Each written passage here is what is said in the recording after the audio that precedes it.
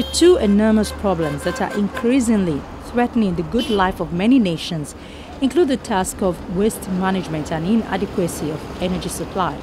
The nation's inability to dispose waste and to find enough energy greatly affects living conditions. The problem of fuel scarcity and sewage disposal in Nigeria and many developing countries is alarming. Energy generated from waste is therefore needful as it will serve the dual purpose of cleaning the environment and providing a cheaper source of energy.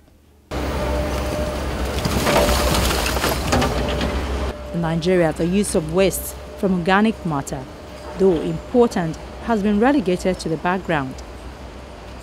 There are abundant agricultural residues and municipal solid waste, whose potentials are yet to be fully tapped for energy generation. Experts advise that the possibility of using such waste or biogas production should be explored. The raw materials used in commercial methane generation include plant residues, animal waste, like cow dung and various urban waste which are available in Nigeria. Biogas technology has advantages which include generation of storable energy sources, production of a stabilized residue that can be used as a fertilizer, an energy efficient means of manufacturing nitrogen containing fertilizer. A process having the potential for sterilization, which can reduce public health hazards from fecal pathogens, and if applied to agricultural residues, a reduction in the transfer of fungal and plant pathogens from one year's crop to the next. So government should look at, you know, biogas technology for the for the rural areas, this off-grid thing, and where people in the, rural areas can have their own their own grid, their mini grid, and manage and generate their own electricity, generate their own fertilizer, and they manage it, and it can provide, you know, employment, you know, opportunity. And while we are, you know, we are we are trying to, you know, uh, down on our foreign, um, our, our our foreign foreign exposure in terms of, you know, importing equipment uh, uh, for the power industry, you know, where you will look use our locally, you know, you know, technology and another. So it's a very good uh, source of energy for the rural areas where a community, maybe 500 houses, 100 houses, can have their own system and they use the biogas for cooking and electricity production because we have the resources. The weather favors this technology because the this system works very well in in a, in a very good ambient temperature from 30 degrees to 35 degrees and and we can do very well. Like Germany, from this biogas, Germany generates over up to 4,000 megawatts from from from biogas systems. So Nigeria has the potential of generating up to 10,000 megawatts from from from from biogas because we have the resources. In sub-Saharan Africa, most households rely on traditional cook stoves for cooking, with some 900 million people estimated to rely on traditional cook stoves by 2020. Although the picture in urban areas is different, the number of people reliant on firewood for cooking in rural areas where consumption is much larger due to lower clean cooking access hardly changes. Rising incomes produce only a gradual shift in cooking fuels and the technologies used. Uh, Africa having even the uh, uh, largest world population, which is mostly the 13%, but it those uh, a very, it generates a very low, uh, less than 4% of the electricity where it covers the uh, whole population in Africa. So why this is happening? Because one is there are certain factors that really impairs. Because first of all, you know, we, the investment and also the right policy uh, and also the clear and coherent uh, institutional and regulatory uh, framework. Uh, when we see, for example, uh, Africa really endowed more than 1,000 gigawatt of the wind resource and the 10,000 gigawatt of solar, and if we see the Great East African Rift Valley, it endows uh, more than 20 gigawatt of geothermal resource. But we see now the, we are really uh, suffering from power shortage.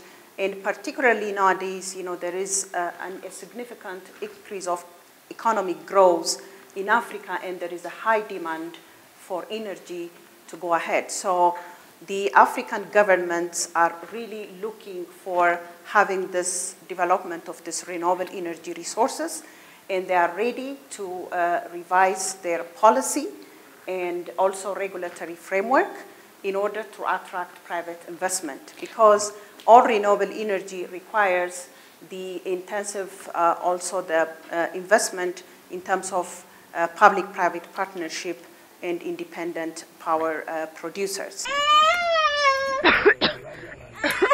Smoke from cooking with traditional cook stoves results in 600,000 deaths in the region each year, with an estimated loss of 2.8% of gross domestic product, which includes $29.6 billion in lost productive time spent on fuel gathering and the cooking process. Biogas for cooking can help address these health and economic issues and reduce solid fuel use by 66 to 80 percent, even though biogas systems have high upfront costs of $500 to $1,500. Lifetime costs are the lowest among cooking technologies. The, the price is, is really affordable and um, it should be around um, 100,000 naira to acquire and if you have constant uh, source of, of manure, you are you are fine for about 20 to 30 years before um, you can probably need the replacement of the reactor because the lifetime of the reactor, the lifespan of the reactor is about is about uh, 10, is about 50 to 20 years. Cooking stoves based on biogas and other sustainably produced renewable fuels can greatly improve health and welfare. Over 3 billion people worldwide currently use traditional cook stoves fueled by wood or charcoal. Roughly 50 million biogas cook stoves have been installed worldwide, and the number is growing at about 10% annually. China leads the world in biogas digester installations for cooking, accounting for over half of all installations globally.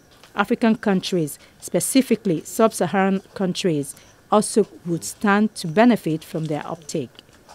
Biogas is among the environmental friendliest and cleanest of all cooking technologies and outperforms traditional cook stoves in several ways. Because this is a renewable source of energy and uh, we, are, we, are, we are aware that uh, um, uh, climate change is uh, it's, uh, it's a very uh, important subject in the, the global community and it poses a great threat to the to the future of, of, our, of our children and into the world you know, at large. So biogas, um, syst uh, biogas um, or system or biogas um, uh, um, uh, system uh, as a whole, it's a, it's a renewable source of energy which you know helps to improve the environment because from where we you know were coming from from the farm we saw the the cow manure you know lying away and you know being decomposed and it emits methane into the into the atmosphere, and that methane is uh, is 21 times you know